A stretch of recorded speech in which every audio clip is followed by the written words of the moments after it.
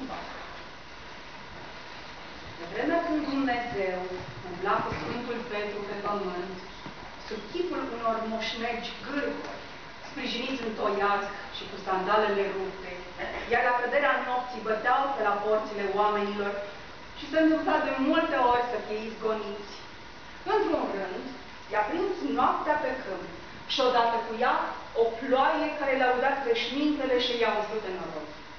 Și tot rădăcind ei așa prin întuneric, numai într-un târziu au ajuns la marginea unui sat și abia au îndrăznit să bată cu toiagul în prima poartă.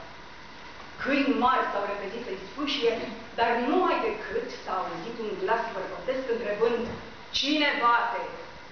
Și au răspuns, oameni buni. Atunci omul, potolind câinii, i-a poftit în casă, unde nevasta și copiii abia se treziseră din somn. Și el a început să dea porunci, dar cu blândețe. Mario, ia mai pune ceva vreascuri pe foc.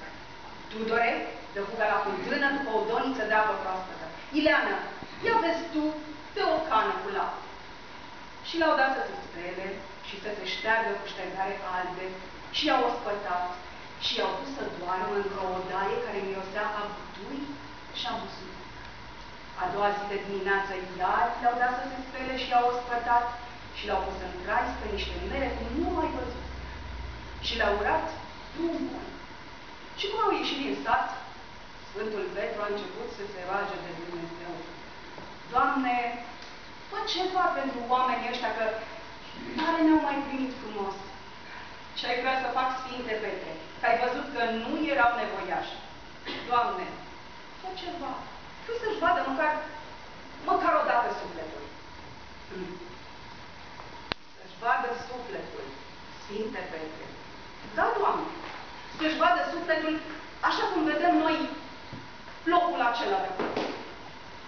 Mm.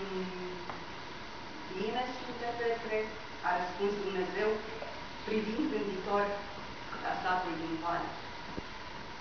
Iar uh, după o vreme, din neamul acela de oameni s-a născut Mihai Eminescu.